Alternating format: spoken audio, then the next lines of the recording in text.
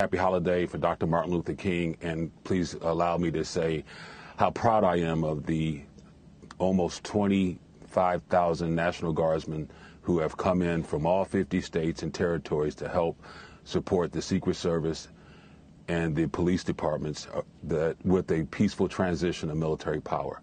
Good morning, sir. Good morning. Thank you for that, sir. So, so, the, so the question was